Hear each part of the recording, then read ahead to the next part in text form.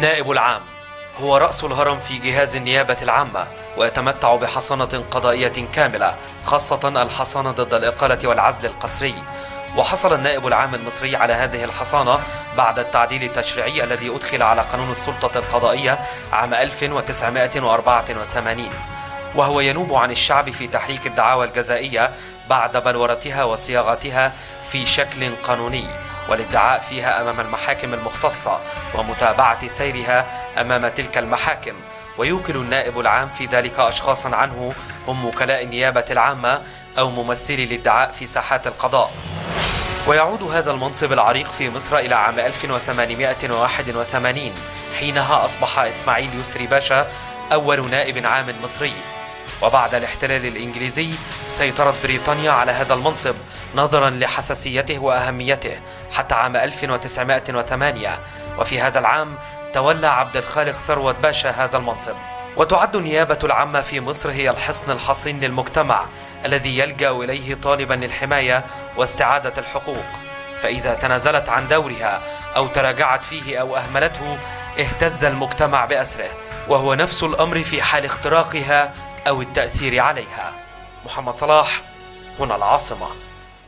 هذا هو منصب النائب العام ونحن هنا نتحدث عن القانون والمنصب وليس آه، أساسا عن أشخاص لكن برضو الأشخاص أساميهم مهمة. خلوني آه، أرحب بضيوفي الأستاذ عصام الإسلامبولي آه، المحامي والفقيه القانوني والدستوري والأستاذ نور الدين عبد الحافظ عضو أمانة التثقيف السياسي بالحرية والعدالة. أهلا بكم أهلاً. يا سادة.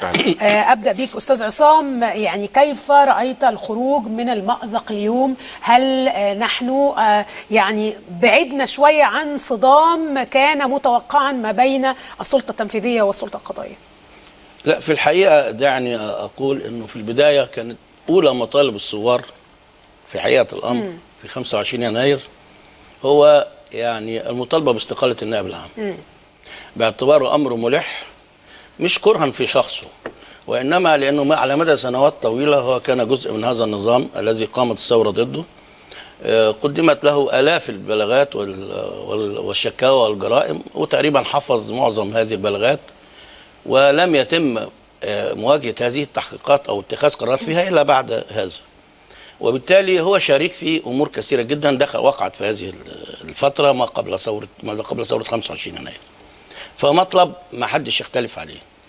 إنما إنما علشان آجي أحقق هذا المطلب بعد أكثر من 100 يوم في موقعي وأنا في رئيس كرئيس جمهورية. ثم أجي أعمله بطريقة غير يعني مش عايز أقول إنها غير ذكية إنما غير قانونية وغير دستورية تصطدم مع الدستور والقانون. ولا أحد على الإطلاق يوافق عليها طالما أنت اخترت أن الدولة تدار أو إن الثورة تدار مش بمنطق الشرعية الثورية وانما بمنطق الشرعية الدستورية فعليك أن تلتزم بالدستور والقانون. الدستور والقانون بيمنع عزل آه، القاضي أو وكيل النيابة أو النائب العام. وبالتالي عليك أن تحترم هذا. وفي طرق كثيرة كان ينبغي أن يتم بها على مدى ال 100 يوم أو ما قبل ال 100 يوم. ما تمتش. واستنيت لما أتحكم في قضية اللي هي القضية المتعلقة بموقعة الجمل علشان تعزله أو تقيله وتحقق مكسب وتقول ده من إنجازات ال 100 يوم. دي دي الحقيقة يعني. يعني أنت ترى أن آه، آه، آه، محاوله ت- إقالة أو محاولة عزل أو محاولة أي نسميها أي حاجة. أيوة. آه، تغيير النائب العام هي محاولة ل محاولة لإضافة للإنجازات إنجاز علشان. مواجهة بس أكمل النقطة اتفضل. لأن فيها جزئية مهمة. وبالتالي أنت اخترت طريق خطأ تماما لا يقبله أحد. بل صعبت المسألة أن أنت النهاردة عندما تقر ببقائه يعني أنت وضعتنا في مواجهة الحيط في حيطة سد هنقعد لابسين المسألة دي لمدة ثلاث سنين فالأزمة ما انفجرتش الأزمة زادت. ناهيك عن بقى مسألة خطيرة جدا. ودي أهم شيء. أنت داخل في صدام مع المحكمة الدستورية العليا كقضاء دستوري وبتعد نص تآمري في الدستور اللي بيتم علشان تقلل عدد المحكمة أعضاء المحكمة. تآمري. تآمري طبعا. الهدف منه القضاء على المحكمة الدستورية العليا. اتنين داخل في صدام مع مجلس الدولة في القضية اللي صدر فيها حكم التحلي من التأسيسية ومنتظرين القضية الثانية باقي القضاء العادي أنت النهارده دخلت في صدام مع القضاء العادي اللي فيه النائب العام. لأنه بالفعل النهارده في في حالة من احساس بالتربص. لأن ودي مساله اديرت خطا الأغرب من ده إن بعد ما يصدر القرار يجي يقول لك ما صدرناش قرار بالاحاله ده إحنا عيناه. وفي في الدنيا حد بيصدر قرار بتعيين شخص نائب عام في وظيفة أخرى يعني بيجمع ما بين الموقعين. القرار الإداري في التعريف القانوني والدستوري ليه هو إفصاح الإدارة اللي هو يعني مصدر القرار عن رغبته في تحقيق مركز قانوني معين. هذا المركز القانوني المعين هو انه يعين سفيرا. طالما عينته سفير هل من ممكن يبقى معين سفير وفي نفس الوقت يبقى نائب عام؟ ففي قرار صدر. بتجادل في إيه؟ ويقول لك لا ده ما صدرش ده القرار ده ده رغبة. ثم المسألة التي أديرت بها بقى إن فلان الفلاني يكلمه بالتليفون فيقول له طيب أنا بعتقد إن هو ضحك عليهم. النائب العام استدرجهم عمل لهم فخ وقال لهم آه سواء بقى قال لهم آه أفكر أو ما أفكرش أو أشوف. وبعدين يصدروا قرار فيقعوا في الخطأ. فكانت فضيحة الحقيقة. وده سببه أن الاستشارات التي تقدم من بعض اللي حوالين ال- ال- الرئيس الحقيقة بت- بس بتسبب كارثة. ودي مش أول مرة تحصل. دي ثالث حادثة. الحالة الأولى عندما أصدر قرار. بعودة مجلس الشعب في تحدي الحكم من المحكمة الدستورية وهذا خطأ فادح لأن رئيس دولة يبدأ حياته باصطدام بسبب القانون والدستور دي مسألة خطيرة. تاني حاجة عندما يصدر قراره بإلغاء الإعلان الدستوري المكمل اللي أقسم عليه وعلى أن يحافظ عليه ثالث حالة كانت امبارح. الموضوع بتاع الأمس. هل توافق الأستاذ الإسلامبولي حضرتك إنه آه، آه، كانت هذه محاولة لزيادة الشعبية أو إضافة آه، إلى إنجازات ال100 يوم؟ كيف ترى كان الخروج من المأزق النهارده؟ آه، هل توافقون عليه أم ترفضون؟ وكان في طرق على فكرة هقولها بقى طيب، كان آه. نسمع بس الأستاذ نور الدين. بسم الله. الرحمن. الرحيم. أنا أولا أشكر مستشاري السيد الرئيس الجمهورية على توجيه آه، آه، آه، هذه الصفعة آه، المستحقة لرمز من رموز كراكيب الماضي التي يجب أن ت- تختفي من حياتنا إذا كنا نبحث عن مصر جديدة فعلا. قصة من من التاريخ لما عمر بن عبد العزيز الخليفة الخامس تولى فعزل كل قضاة الحجاج. فواحد منهم بيقول له إنه إنني لم أعمل معه إلا يوما فقال له يكفيني أنه رضي عنك. ال- ال criteria بتاعتك مواصفاتك كانت matching معاه ومتوافقة معاه فأنت ما تنفعنيش. فمن الواضح أن هناك من يغلب التنافس السياسي على مصلحة الوطن. يعني رأينا مشهد سياسي في مر بحياتنا نتمنى إن إحنا ننساه. رمز كان في يوم من الأيام بيقدم نفسه كرئيس مصر بيقعد مع وفد رجال أعمال أمريكان يقول لهم ما تتعاونوش مع مرسي لأن البلد فيها اضطرابات. آه، آه، هذه التصفية تصفية الحسابات لا السياسية هنا آه، معلش قول لي مين أنا مش آه الأستاذ حمدين صباحي لما قابل وفد رجال الأعمال الأمريكان.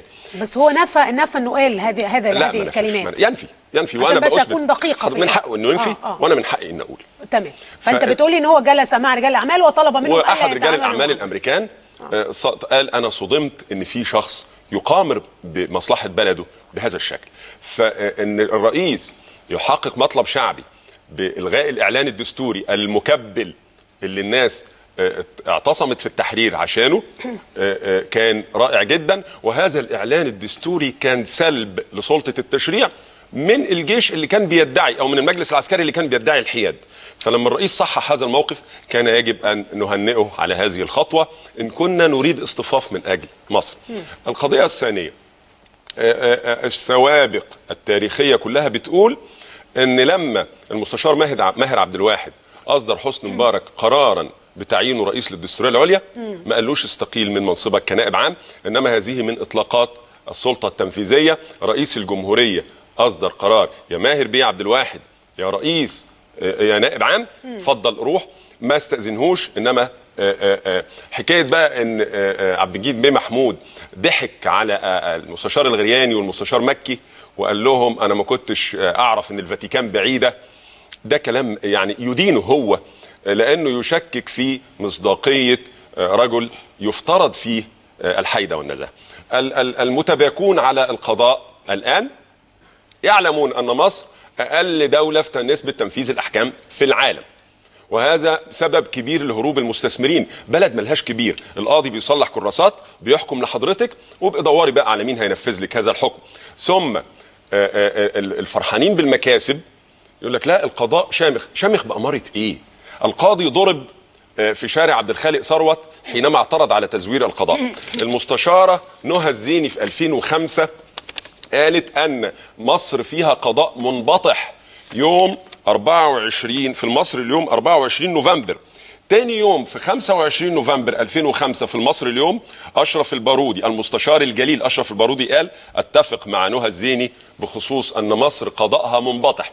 المجموعة ال 50 قاضي اللي بيهللوا حوالين النائب العام والمستشار الزند اللي هو حاليا متهم المستشار الزند متهم أمام الكسب غير المشروع و- و- و- وال- والأستاذ عصام يعلم ذلك وأنا آه، وأنا كان ارتبطت لابد آه، دي. كان لابد كان لابد أن يدافع عن النائب العام الذي تخصص طيلة خدمته طيلة مدة خدمته على حفظ البلاغات. أنا كنت بقول لحضرتك قبل ما نطلع هوا في إيه؟ إن لو أنا أنا مواطن عندي عشر قضايا مديهم لمكتب محامي. خسر تسع قضايا. هل هخلي القضية العشرة عنده؟ النائب العام هو محامي الشعب وخسر كل قضايا الشهداء وخسر كل قضاياه ضد نظام مبارك. فهل أصر على أن هذا الرجل يصلح محامي الشعب وهو ده اللي هيجيب حقوقنا آه، عصام سلطان قدم 38 بلاغ في شفيق اترموا في ثلاجه النائب العام لغاية ما أحمد بيه شفيق سافر وطلع لنا لسانه عشان بيعمل عمرة في ست شهور في, في, في وبعد كده النائب العام افتكر إنه يصلح الصورة بإحالته للتحقيق ولا طيب. طيب. فال... لحظة واحدة ماشي. المستش... الأستاذ ماهر آه، أستاذ سامح عاشور كان حاضر النهارده في الهليلة بتاعه عودة النائب العام اللي ضحك على الرئاسة. أستاذ سامح عاشور ملوش مبرر الوجود ولكنه صاحب مصلحة. كلنا يذكر أن آه، آه، رئيس نيابات شرق اسكندرية عبد الرحمن الطحان في 31 7 2008 أمر بإخلاء سبيل محمد ناجي جابر المحامي بكفالة 500 جنيه لأنه ضبط بيجاوب في كلية حقوق جامعة اسكندرية بس فرع بيروت.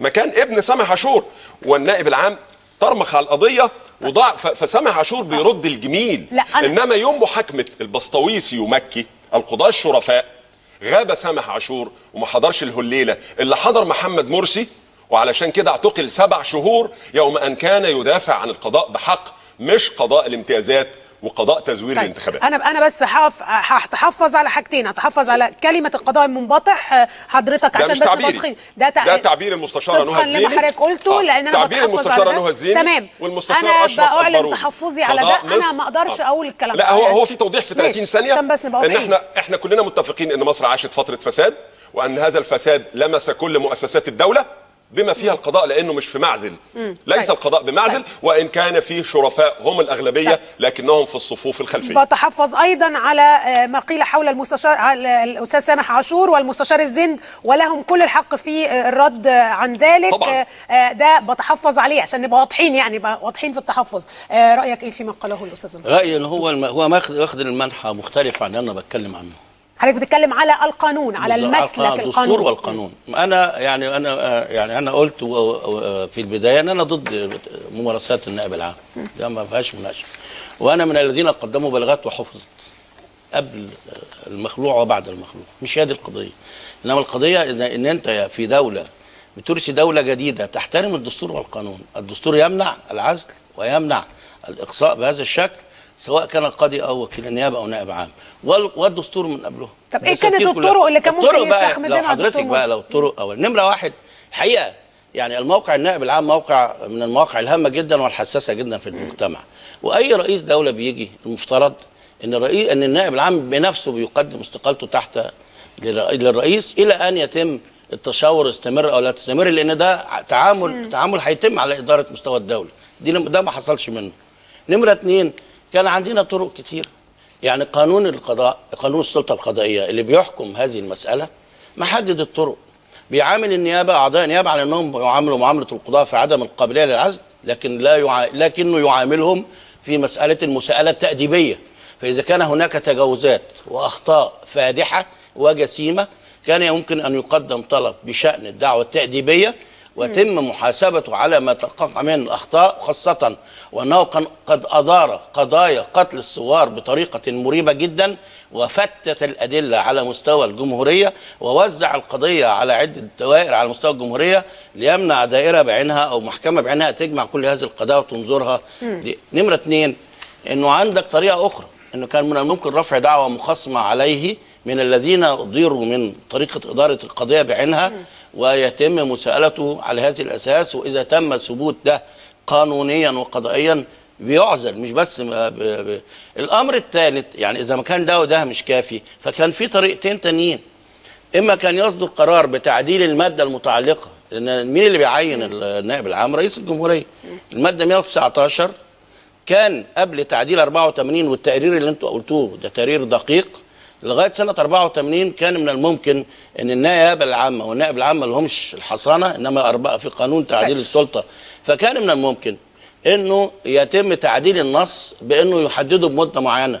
يعني يقول أربع سنين مثلا وهو طيب، مفروض طب لكن- بس أكمل الف... آه، اتفضل. الفكرة أو الطريقة الأخرى إنه كان ممكن أن يعدل السن المتعلق بخدمة القضاء من 60 70 ل 65 65. يبقى فاضل له شهر والمسألة طيب. تنتهي. كل ده كل ده. لم يتخذ، واتبع طريق خطأ في النهاية هيؤدى إلى إنه إحنا لبسنا الحيطة أو وقعنا في في مأزق إن اللي هنستنى إن شاء الله هل- ألا بقى إذا جه مجلس الشعب وعدل قانون السلطة القضائية طيب هل, ده بيفتح الطريق لقرارات استثنائية؟ يعني منذ البداية كان في آه، وحضرتك كررتهم مجموعة من القرارات التي اصطدمت بصخرة القانون. هل ده بيفتح طريق آخر لقرارات استثنائية تانية إن إحنا نرجع بقى لفكرة المحاكمات الثورية نرجع لفكرة تانية؟ يعني نس- نسلك طريق آخر.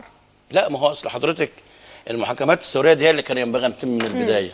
هم ركنوا الكلام ده ومشوا في الطريق التقليدي للأسف الشديد. من تعتقد من إنه بداية. يمكن العودة للمحاكمات الثوريه ولا إحنا خلاص رجع مشينا في طريق ما ينفعش لا أنت دلوقتي عندك طريق, طريق لازم تسلكيه اولا وهو مسألة النقد سواء في القضية بتاعة الجمل أو القضايا القضايا الأخرى.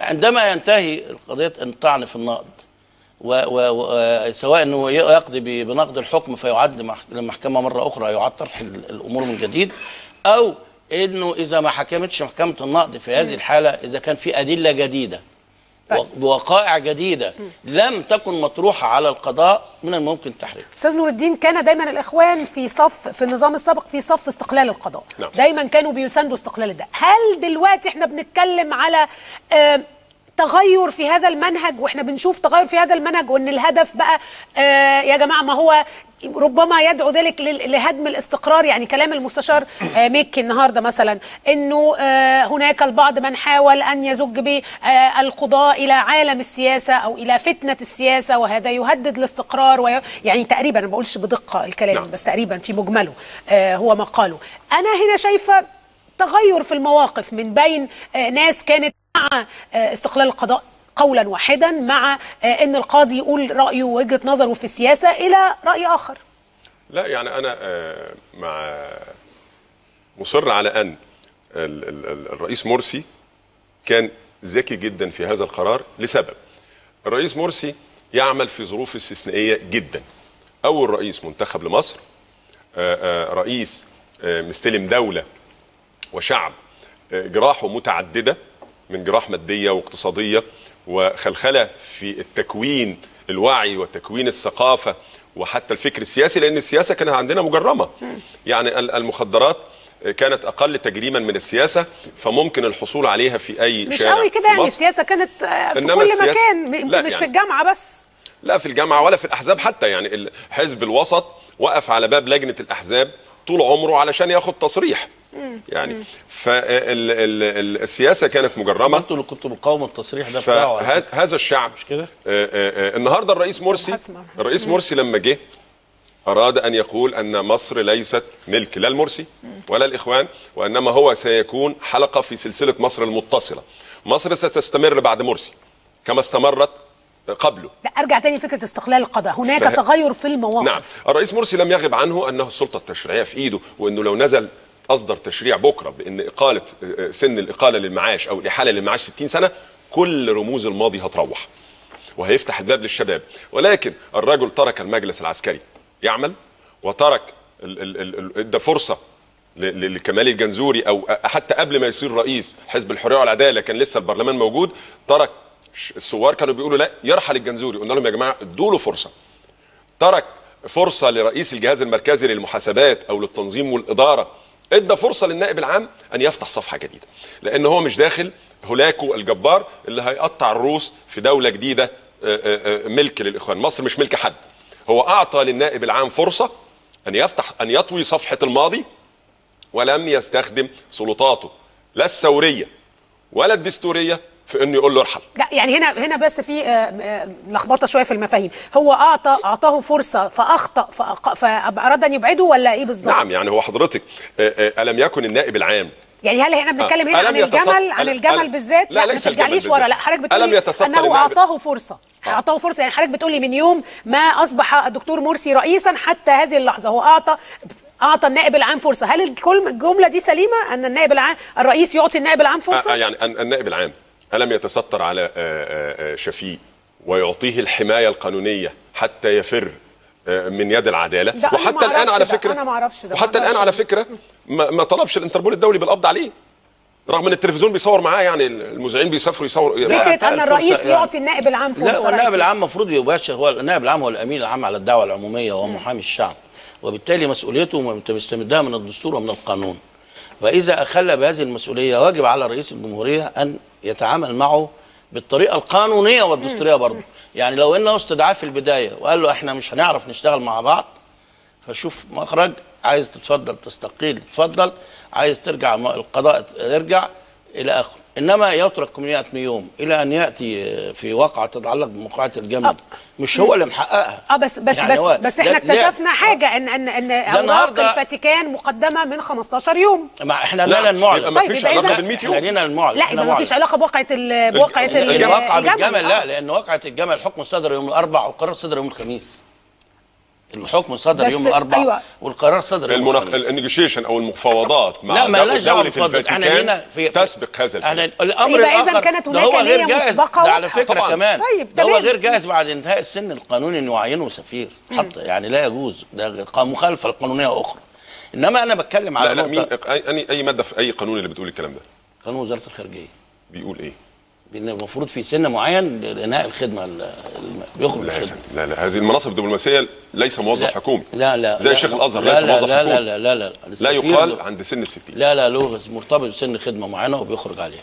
وبالتالي هو لما يكون معدي ده عنده 67 سنة لازم يكون م- بيتمد له ب- ب- حد بأمر أو بقرار. لكن أساس تعيينه يبقى صحيح البداية. التعيين ما بيبقاش قبل. إنما هي المسألة مش في دي. المسألة إنه ما هي دولة يعني الفاتيكان ما فيهاش جالية فمش عايزة تعب يعني. هو برضه قدر ظروفه الصحية هيقعده في دولة هو السفير وهو الجاليه ففكرة يعني- جيدة يعني. هو ده مش هي إحنا بنتكلم في كلام لا إحنا مش. بنتكلم فكرة جيدة لا ولا لا لا, جيدة لا بس بنتكلم في قانون هو ما يحدث جد في ما. يحدث على ساحة الوطن آه جد ما هو ما لما أنت النهارده مهرجان- اسمه- قدامها مهرجان ثلاث سنين مهرجان اسمه البراءة للجميع أيوه لما ماشي. لما. بشار الناس تنكت إن بشار بشار. مقدم طلب المعالجة بشار مقدم طلب إنه يتحكم عندنا ما دام المحاكم بتاعتنا سبهللة كده بشار الاسد قال لك هتموني في البلد بتحفظ تاني. على المحاكم السبهللة. بتحفظ تاني على. الجملة دي لأن أنا ما أقدرش اقولها وما ينفعش مش. إحنا مش ضد الكلام ده إحنا كلنا بنعاني منه انما أنا عشان اواجه المسألة بطريقة صحيحة و- علي أن ألتزم بالدستور والقانون طيب الآن لدينا في أنت النهارده. أنت النهارده هتضطر تصبر عليه كمان ثلاث سنين. لا. يعني انت بدل ما خلونا نتكلم على آه، ما ما يعني وضع المحاكم. وما إلى ذلك. هناك وزير عدل آه، المستشار أحمد مكي. هناك نائب رئيس جمهورية المستشار محمود مكي. اثنين قامات قضائيه نعم. آه، هناك المستشار الغرياني محمد اللي هو دخل جوه أنا مش عارف حقيقه إزاي يعني. يعني يعني إذا كنا تفوت عليهم مسألة بهذا الشكل؟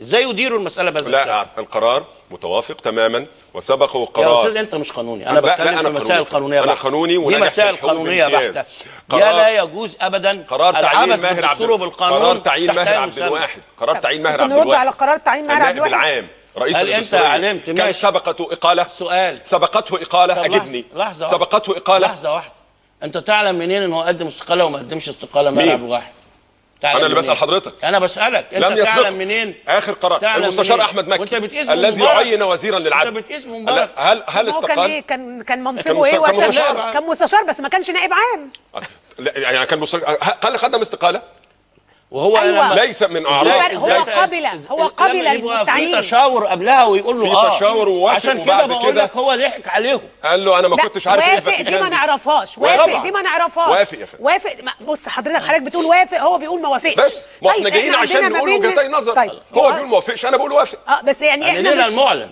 آه، لا- لدي المعلن وافق. وقال أنا قلت موافقة. ملتبسة مش عارف يعني إيه ملتبسة بصراحة طيب أنا اخدكم لمشهد آخر آه، آه، آه، الملتبسة دي اللي قالها برضو آه، مستشار مكي أنا ما سمعتهاش من والمستشار. مكي مصدق عنه ع- يعني عند حضرتك إحنا آه. أنت عارف بنشك في في المستشار الهوا مكي يعني حاكمه حسني مبارك فمصدق عندي لا أنا عدو عدو عدو عدوك صديقك ده وجهة مستشار نظر مين فيهم. أنهي تقصد؟ أحمد مكي محمود مكي آه، محمود راجل محترم طبعا آه يعني واحمد مكي. راجل محترم نعم عموماً. وحاكمه تعاملنا. معاه وإحنا عارفين طيب، عموماً- عموماً ليس هنا ده مش وقت لكن هم. أخطأوا في هذا الموقف طيب مشهد موازي كان مشهد التحرير بالأمس. هو ده مشهد موازي للمشهد ده وهو جزء من هذا المشهد الحقيقة. لا يتغاضى عنه. آه، آه، آه، جهات ثورية ومجموعات ثورية قررت أن تنزل إلى ميدان التحرير لتعبر عن رأيها في ال يوم والحساب والنائب كل شيء. ثم آه الإخوان المسلمين وهذا ال- المشهد القدامي اللي أنا بقول لكم إن مفيش مليم هيد- هيدخل مصر لمدة طويلة بعد هذا المشهد الحقيقة. إنه مأس- مشهد مأساوي. وموقعة جمل أخرى. من المسؤول عن هذا المشهد سيد آه أستاذ عصام؟ طبعا اللي هم هجموا على يعني أنت عامل في منصة موجودة والناس بتتكلم. أنت مش عاجبك هذا الكلام روح اعمل منصة مقابلة واتكلم فيها. كما كان يحدث طول أحداث الثورة. ما كان بيبقى فيه ثلاث أربع خمس منصات. ليه هذا الاحتكاك وهذا الاخلاف الضرب ليه اشتباك ده؟ من إمتى؟ طب ما هو ده منهج موقعة الجمل عندما اختلفوا ما ما, ما, جرهمش بالحوار.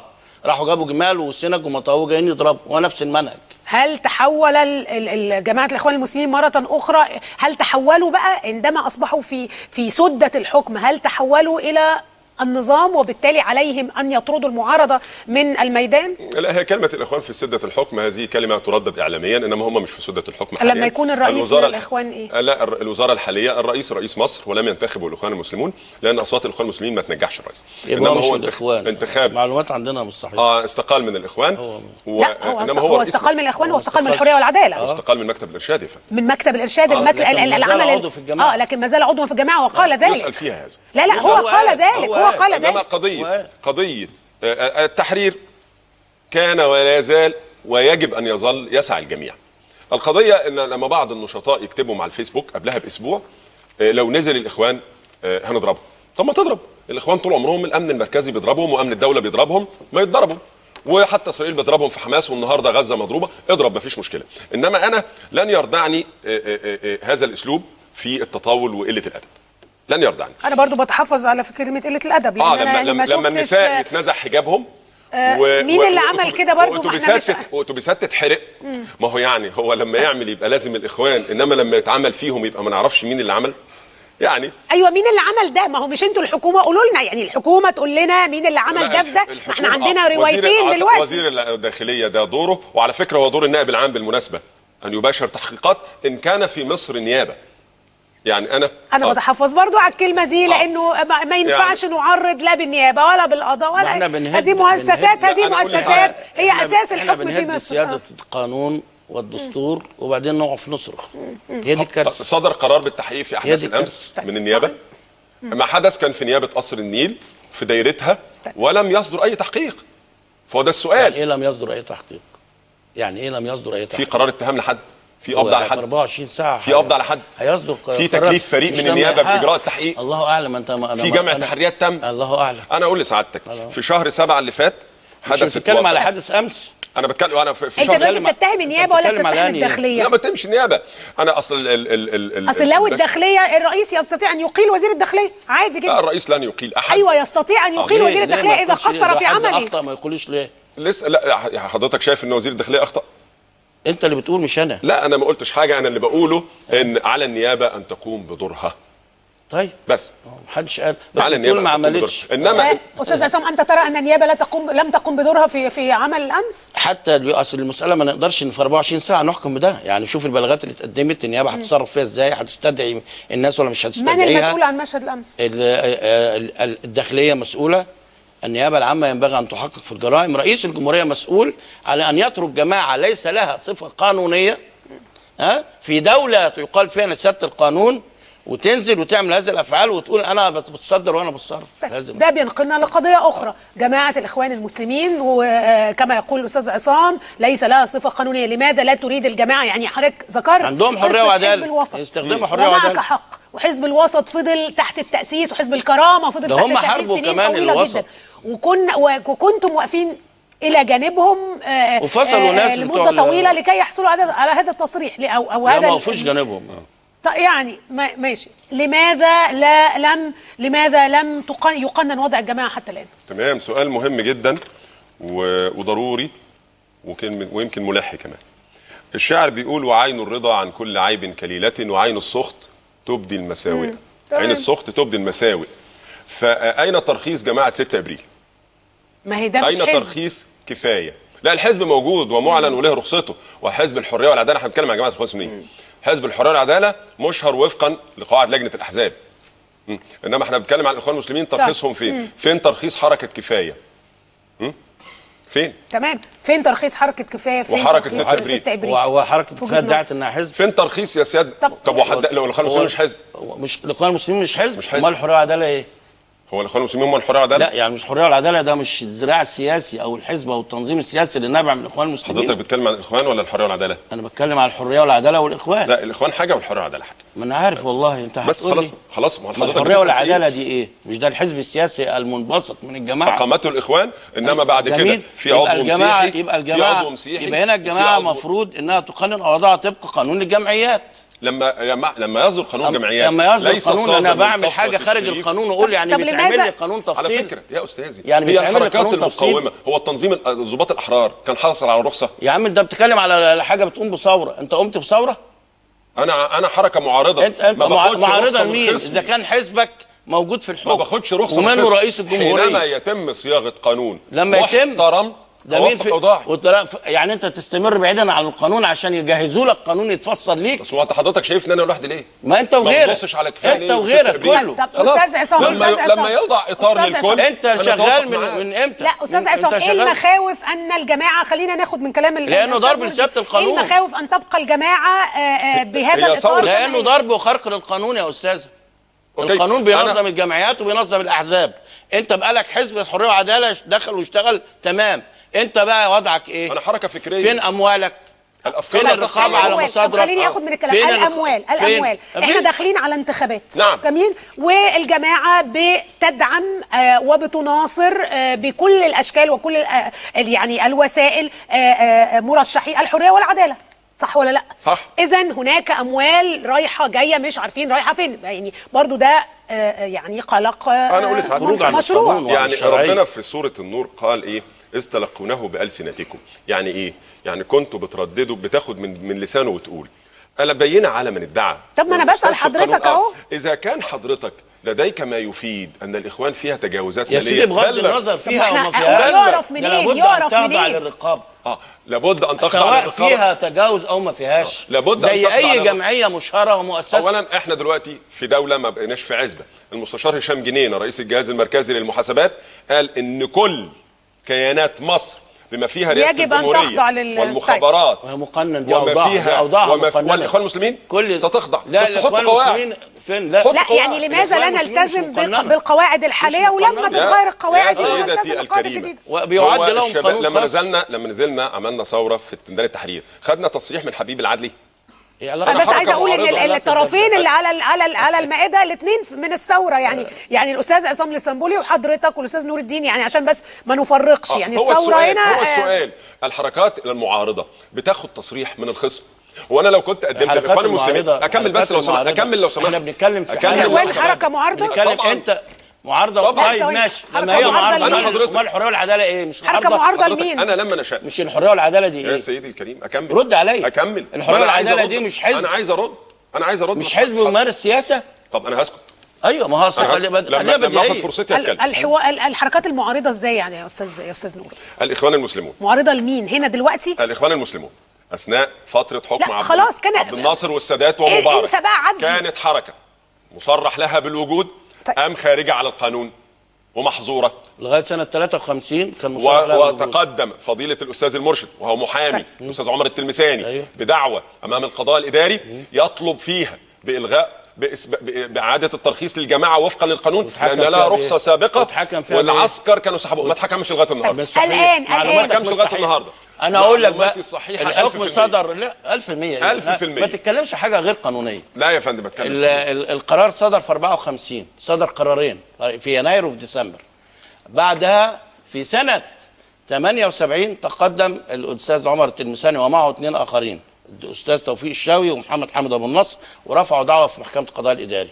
طعنا على وكيفوا الدعوة مرتين غيروا حتى في طلبات الدعوة.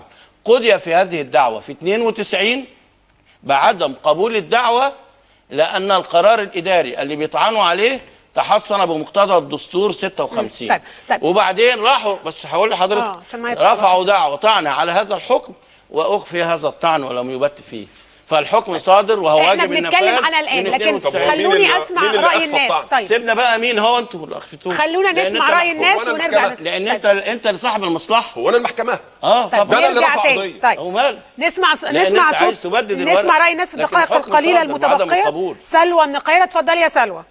ده من اسكندرية يا مدام ليلى. آه عفوا اتفضلي. مين معايا؟ منى؟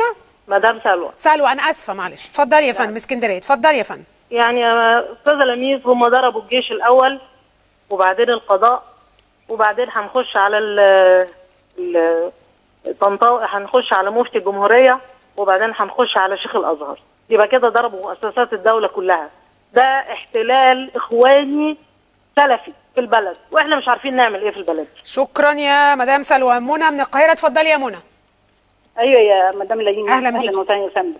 أنا بس كنت عايزة أتكلم على الأستاذ آه، نور الدين. اتفضلي. آه، هو الحقيقة هو داخل دخلة جامدة قوي وبيسيء للفريق أحمد شفيق. أنا أول حاجة إحنا بكرة هنقدم بلاغ ضده لإساءة سمعة رمز من رموز مصر مرشح سابق لرئاسة الجمهورية. وهو يعني كده بيهين كل نص المنتخبين نص الشعب اللي انتخبوا بيهين كل دول. كل ما بيسيء له بينتخب. وبعدين بيقول آه، كل حاجة طبعا هم التهم الفارغه اللي هم بي بي بي بيحيلوها عليه والبلاغات وكل الكلام الفارغ ده كله مش هينفع. لأن هو أول واحد عارف إن دي حاجات كلها أكاذيب. وتهم وبعدين الفريق شفيق يسافر زي ما هو عايز ويرجع زي ما هو عايز ويقعد بره زي ما هو عايز. يقعد سنة طيب. سنين يرجع بكرة هو حر. شكرا. شكرا يا منى. آه، منى هتقدم بلاغ فيما قاله أستاذ نور خالد من المنيا اتفضل يا خالد. ألو السلام عليكم. عليكم السلام يا فندم اتفضل. أنا بس عايز أسأل كم سؤال للأستاذ نور الدين. اتفضل.